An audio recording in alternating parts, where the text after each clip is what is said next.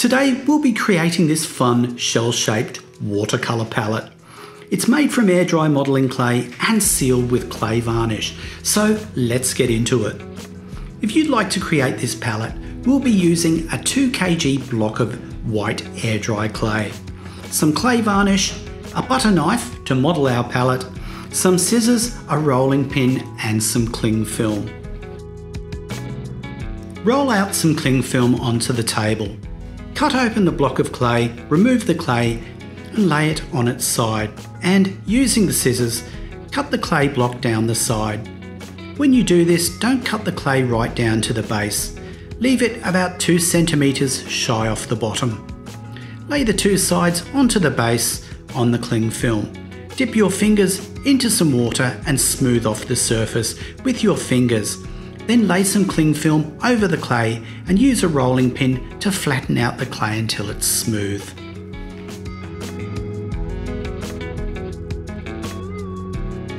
Flip the clay over, move the cling film to the side and use your fingers to blend and join the two slabs of clay.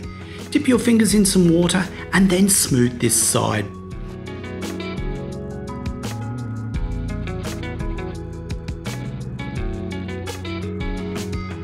Cover the clay again with cling film, roll it flat with the rolling pin, then flip it over and roll it with the rolling pin until it reaches a thickness of 20 to 25 millimeters. Once the clay is rolled to the desired thickness, we can profile cut the shell outline printout. You can find this on our website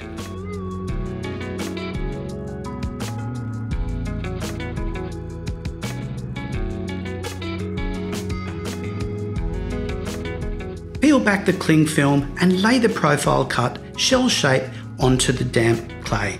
Use the tip of the butter knife to transfer the outline onto the clay. There is a series of dots on the printout that mark where the walls on the palette will lie. These can be transferred with the point of a pencil. Remove the printout and use the edge of the knife to cut out the shell shape out of the clay.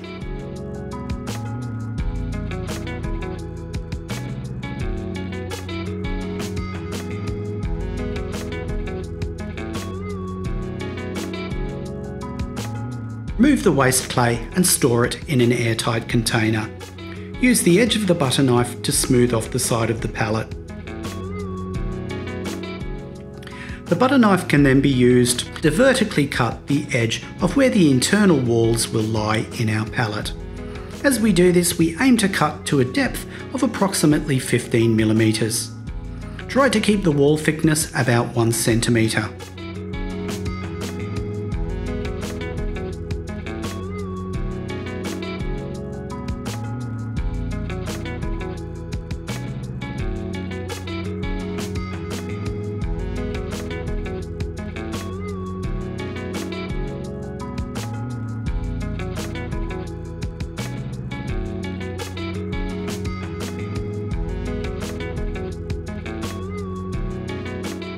Once the vertical cuts have been made, use the knife on its side to excavate the clay from the inside. Don't worry if the clay distorts and it's a bit rough because we'll be smoothing it all out in the next stage.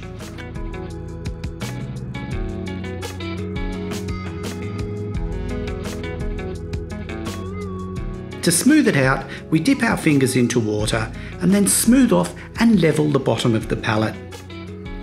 If there are any areas where there has been too much clay removed, we can add bits of clay and blend it in.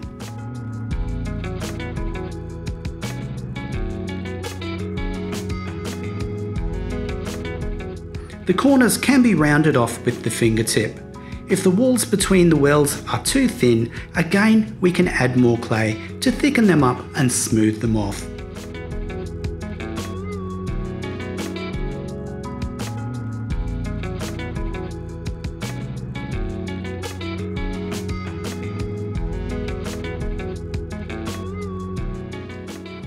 At the bottom of the shell is a couple of shapes that can be halved in size.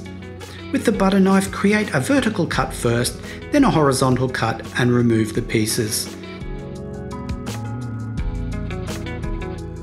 Smooth these shapes off and then press the handle of a paintbrush into the shapes. These can be used as a brush rest.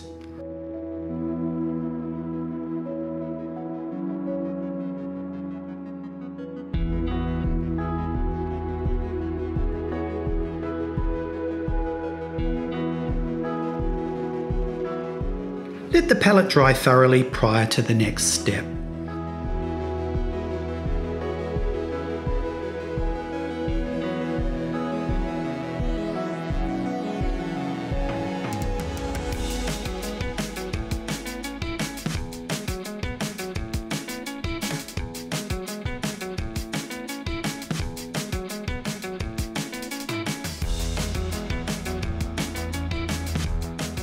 In this next step, we'll be sealing the palette with a couple of coats of Mont Marte clay varnish.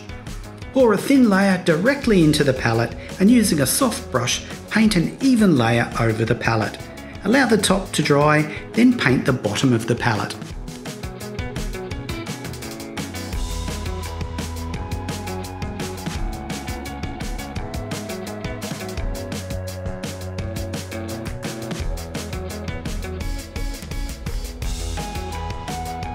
Allow this to dry, then paint a second layer onto the palette. Allow this to dry, then paint the back. Once this is dry, your new palette is ready to load with watercolour paint. If you try this, we hope you enjoy your new palette. We hope you've picked up something that you can use with your art. While you're here, take a look around the Create section on our site and uncover a whole heap of free stuff from free projects, handy tips and tricks, and techniques to keep you busy. Otherwise, have fun, keep creating, and we'll see you in the next one.